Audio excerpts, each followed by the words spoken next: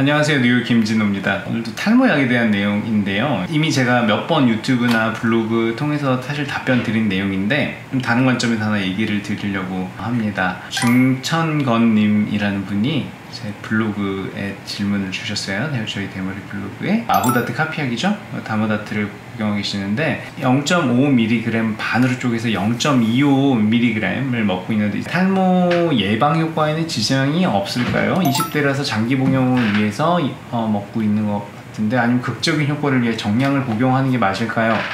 약을 용량을 뭐 일주일에 하나를 먹는다 5일에 반알을 먹는다 제가 이거를 최근에 스카이캐슬 질문이라고 부르고 있는데 믿으셔야 합니다 하는 그분. 예서 공부방에 가서 어, 책상 위치, 습도, 조명 더 잘하기 위해서 그런 조언을 하는데 보면서 제가 느낀 건 야 저렇게까지 해야 돼? 근데 저렇게까지 해야 돼? 하는 분은 그런 거 다 챙기셔야 돼요. 샴푸법이라든지 그런 디테일을 챙기는 분도 있는 반면에 그냥 나는 아, 다 귀찮아. 그냥 아, 공부만 하면 되지 뭐, 뭐 그런 게 뭐가 중요해? 하는 분은 약 그냥 드시면 돼요. 근데 예서방의 습도를 어, 떨어뜨리거나 조명을 높이면 예서 성적이 어떻게 변할까요? 이렇게 물어보시면 참 대답하기 어렵죠. 근데 비슷해요. 프로페시 아보다트를 막 용량을 이렇게 먹으면 어떨까요? 저렇게 먹으면 어떨까요? 의견을 물어보시면 사실 다, 답변 드리기가 난감하고 맨날 뻔한 답이에요. 정량대로 하세요. 정량대로 하세요 하는 게 정량대로 하는 게 이제 실험을 많이 거쳐서 우리가 얻은 결론이거든요.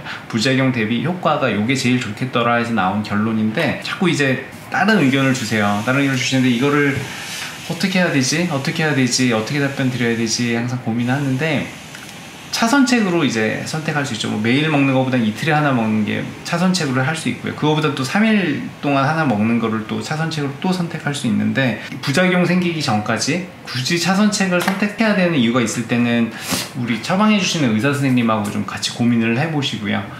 그 전까지는 약의 조합에 대해서 너무 창의적으로 생각하지 않으셨으면 좋겠어요. 다음에 또 좋은 정보 가지고 뵙겠습니다.